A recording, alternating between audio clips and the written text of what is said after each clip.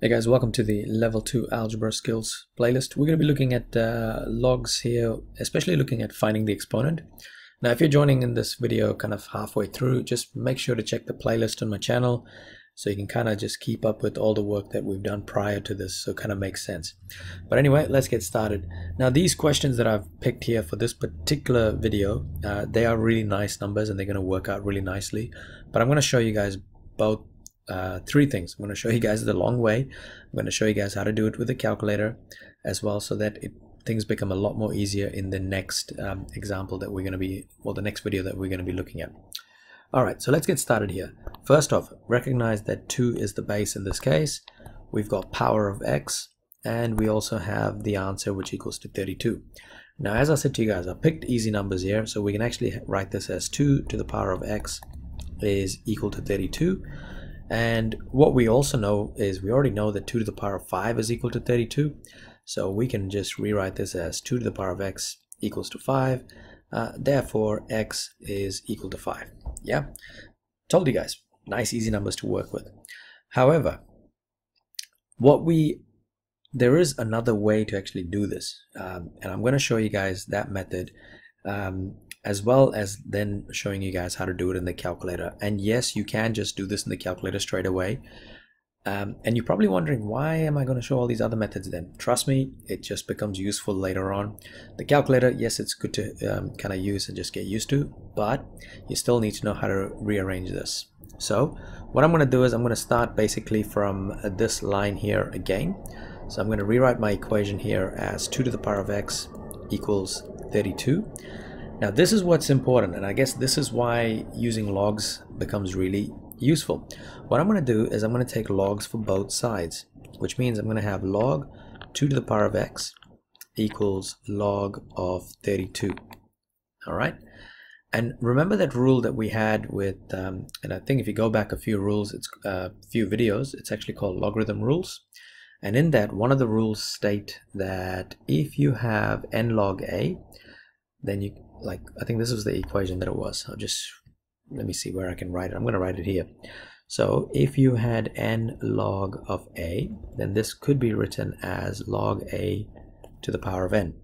So remember that that particular rule that we actually talked about which means I can actually bring x in front of log 2 and by doing that I actually get x log 2 equals log 32 then in my next line I can rearrange uh, I can tell I can treat I almost treat log 2 like a number which means I'm going to get log 32 divided by log 2 and at this point we basically go into our graphics calculator or any calculator just chuck in those values. So you're going to get log 32 divided by log 2 which equals to 5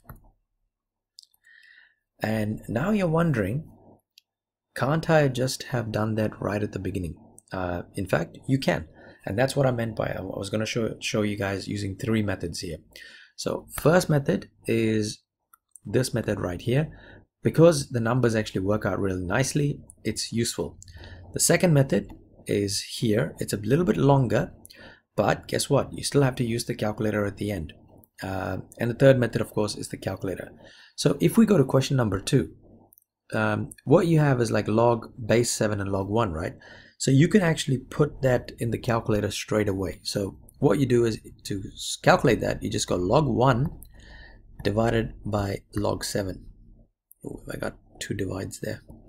Yep let's try that again. So log 1 divided by log 7 and it's actually equal to 0 so whenever you see this log base 7 and log 1 you can actually rewrite this as log 1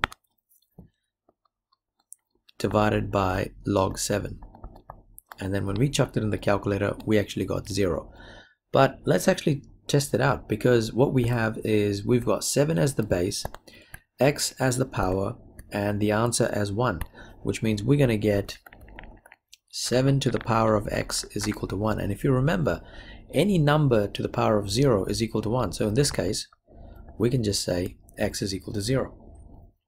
All right, now if you do it the long, uh, the, using it the second method here, uh, method number two, it's you're still going to end up with the same kind of idea. All right, let's have a look at number question number three. What we have is 32 as the base, x as the power, and 2 is our final answer. So we've actually got 32 to the power of x, which equals to 2. Now, this is kind of different, right? I mean, like all this time we've had like 2 to the power of x is 32, but this one is slightly different. Now again, if you're good with your numbers, it's kind of going the opposite way now because 32 is um, 32 is actually 2 to the power of 5. So if we're going to go backwards, we're going to get x as 1 over 5. But let's actually show how we get 1 over 5. Uh, uh, look, we'll do it in the calculator, all right, just to prove that it's actually 1 over 5. So we've got log 32 2, right? So we got log 2 divided by log 32.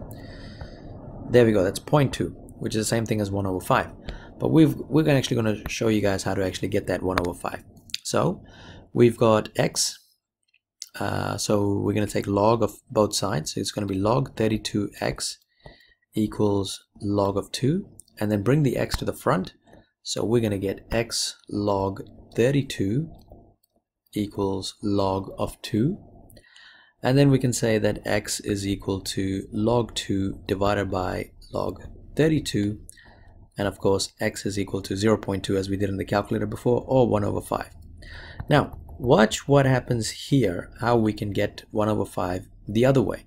So if we have 32 to the power of x equals to 2 right now what I can do is I can rewrite 32 as 2 to the power of 5 right because we know that 32 is actually 2 to the power of 5 and this would become 2 to the power of 5 to the power of x equals 2. But remember, on the right hand side, the power of uh, 2 is actually 1, which means uh, we've actually got 5 times x, which is 5x. So we can rewrite this as 2 to the power of 5 times x, which is 5x, equals 2 to the power of 1. Now you guys can see that both 2's disappear, and what we are left over with is just the powers, because the two powers are equal to each other see 5x is equal to 1 and then we can actually say that x is equal to 1 over 5 so that's just another way of doing it without a calculator but I just wanted to show you guys how we get that 1 fifth with logs and then without logs as well you can do it this way all right and again these are this is stuff that you've actually done in level one it's just kind of reversing it that's all it's just a little bit more but just using logs so let's go to question number four. Question number four, what we have is we've got our base here as 100. All right, we've got our power here as x. And this is, and our final answer is actually going to be half. And that's, that's kind of messed up, isn't it? But let's have a look. So we've got 100 to the power of x equals a half. And I just realized that I gave you a really, really horrible question there. Um, sorry guys, that was not supposed to be a 2, that was supposed to be a 10. Of course, make these questions on the fly and sometimes we just make mistakes, but that's alright. Let's fix that. So we're going to get 100 to the power of x equals 1 over 10. Okay, so we've we already know what the answer is going to be, so let's actually go and check out what the answer in the calculator is. So we're going to put log of 1 over 10 uh, and that's divided by log of 100 so the answer we are looking for x is negative 0.5 so I'm actually going to put that down right now all right so this is using the calculator okay so using the calculator I've also already calculated that x equals to negative 0.5 but let's actually look at how would I do this if I was to actually um, do it just with basic algebra. So we've got 100 to the power of x equals to, now remember 10 could be brought to the numerator, but when it's brought to the numerator, its power changes to negative 1. The reason is because remember 10 has a power of 1, and then when we bring it over to the numerator, it's going to become negative 1. Now 100 is actually 10 squared.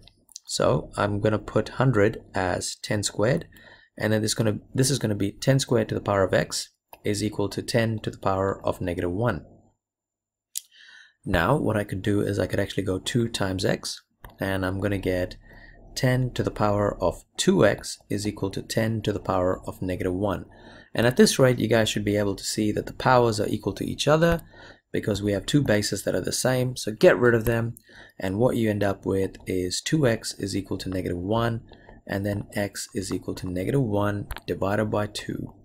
And what you should see is that this is the same as what we actually got earlier in the graphics calculator answer, which is x is equal to negative 0.5.